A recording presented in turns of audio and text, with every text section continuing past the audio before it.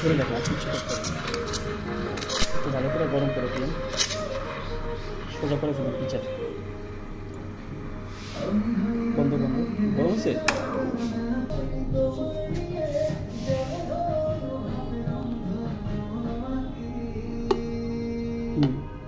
জোরে, জোরের উপরে।